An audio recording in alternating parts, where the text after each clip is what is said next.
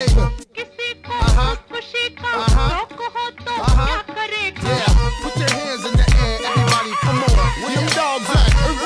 Hey yo, I'm immaculate, come through masculine. Wide body frame, E dubs the name.